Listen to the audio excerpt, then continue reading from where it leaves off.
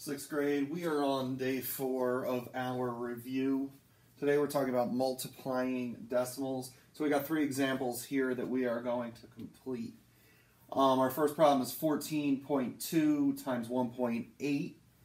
And when we multiply decimals, what we're going to do is we multiply as if these were normal numbers, as if there were no decimal points at all. So for example, I'm going to imagine this is 142 times 18.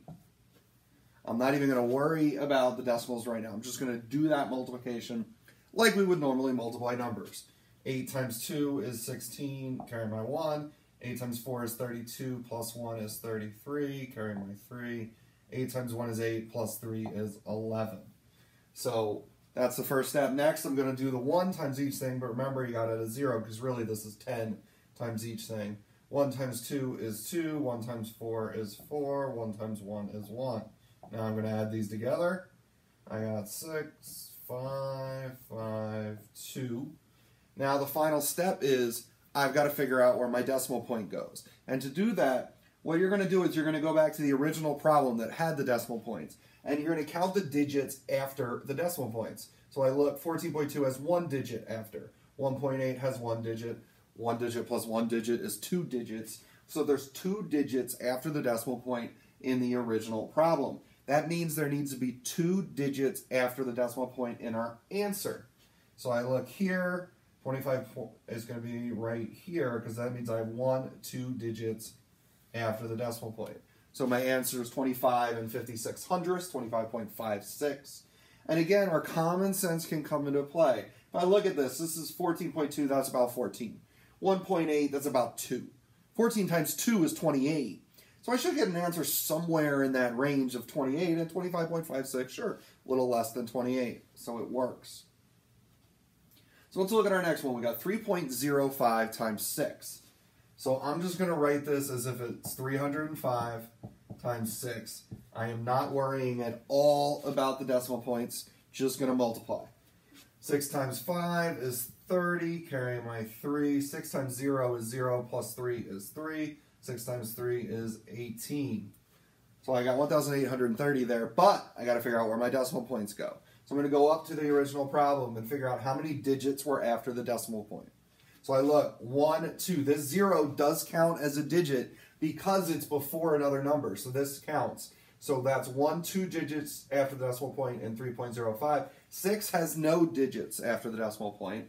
So that means there's only going to be two. So in our answer, there's got to be two digits after the decimal point. So I get 18.30.